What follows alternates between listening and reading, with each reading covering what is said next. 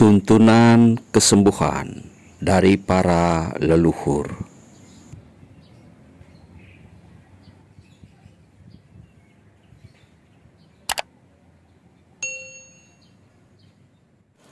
Om Swastiastu.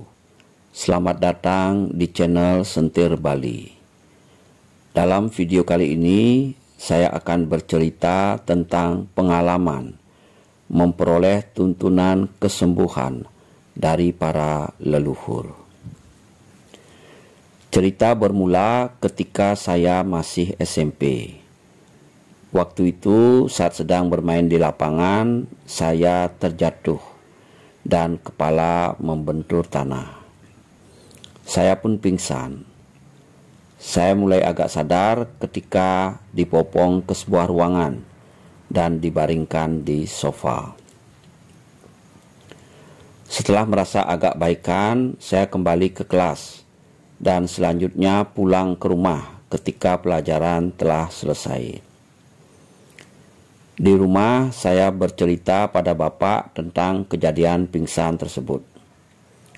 Bapak lalu membawa saya ke rumah sakit dan saya opnamo selama tiga hari.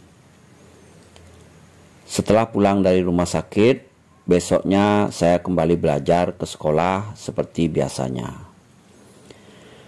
Saat menerima pelajaran, saya mulai merasakan kesulitan mengingat dan gangguan berbicara. Sepulang dari sekolah, saya ceritakan kejadian tersebut kepada bapak, dan saya kembali diajak ke rumah sakit. Dokter kemudian memberikan resep yang isinya saya harus minum obat lebih dari 10 butir dalam sehari. Saya sempat bertanya pada dokter, berapa lama saya harus mengkonsumsi obat tersebut. Dokter mengatakan bahwa saya harus mengkonsumsi obat-obatan tersebut lebih kurang 2 tahun. Lalu saya bertanya lagi, kira-kira setelah mengkonsumsi obat selama dua tahun, apakah saya akan sembuh?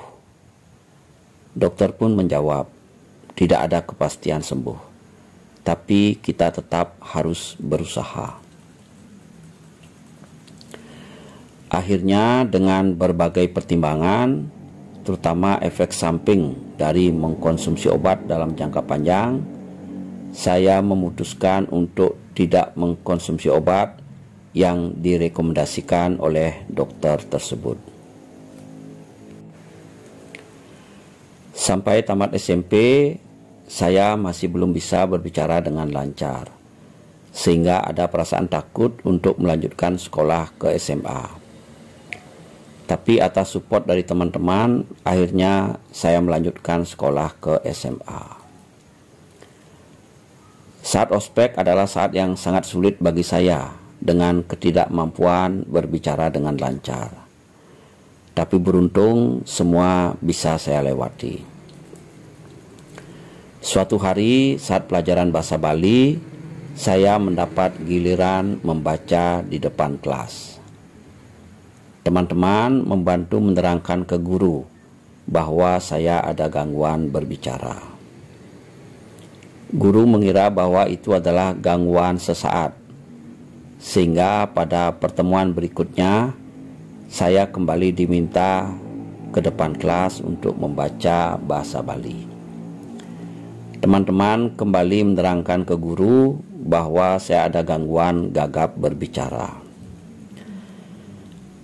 Pak guru pelajaran bahasa Bali yang bernama Pak Sumawo kemudian mendatangi tempat duduk saya dan menyentuh punggung saya dengan tangan kirinya. Beliau lalu menyuruh saya membaca bahasa Bali. Anehnya, ternyata saya mampu berbicara dengan lancar. Dari kejadian tersebut, saya kemudian memiliki keyakinan bahwa suatu saat penyakit saya bisa sembuh. Lalu saya berusaha mencari informasi tentang Pak Sumawo. Akhirnya saya mengetahui bahwa Pak Sumawo adalah seorang guru yoga. Saya ada keinginan untuk belajar yoga pada beliau. tapi saya takut tidak mempunyai cukup uang untuk membayar. Akhirnya niat belajar yoga saya urungkan. Suatu hari saya bermain ke rumah teman saya yang bernama Ngurah Aryo. Ternyata dia memiliki sebuah buku yang saya cari selama ini, yaitu buku yoga. Di salah satu halaman buku tersebut terdapat keterangan tentang sirsa asana, yaitu asana dengan posisi kepala di bawah dan kaki di atas. Dalam buku tersebut, sirsa asana disebutkan mampu menyembuhkan beraneka macam penyakit. Saya lalu meminjam buku tersebut. Sore harinya, saya mulai mempraktekkan sirsa asana. Ternyata asana yang dianggap sulit ini dengan mudah bisa saya lakukan. Hal ini mungkin karena waktu SD saya sudah terbiasa berjalan di atas meja dengan kepala di bawah. Pada waktu sandiakala, seperti biasanya saya sembahyang di Palinggih Rong 3. Malamnya saat tidur saya bermimpi bertemu dengan tiga guru suci berbaju putih yang muncul dari Palinggih Rong tiga.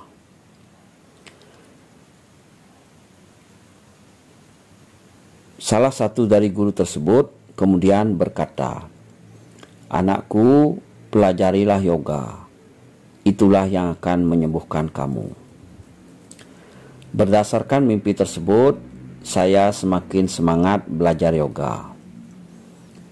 Tapi saya bingung karena ternyata asana itu ada banyak sekali jenisnya.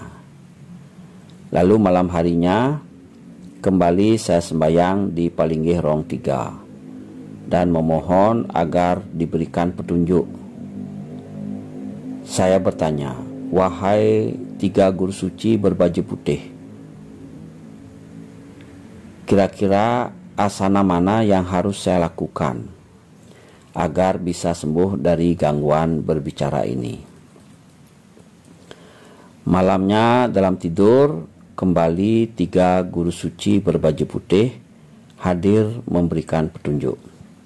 Anakku, pelajarilah Trimurti Asana. Saat bangun tidur, saya kembali membaca buku yoga tersebut untuk mencari tahu apa yang dimaksud dengan Trimurti Asana.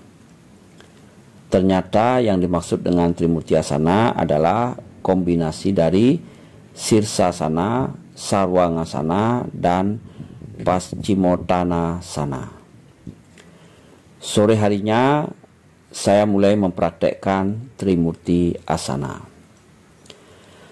Malamnya seperti biasa saya kembali sembahyang di Palinggih Rong 3. Kali ini saya bertanya satu hal lagi pada tiga guru suci berbaju putih.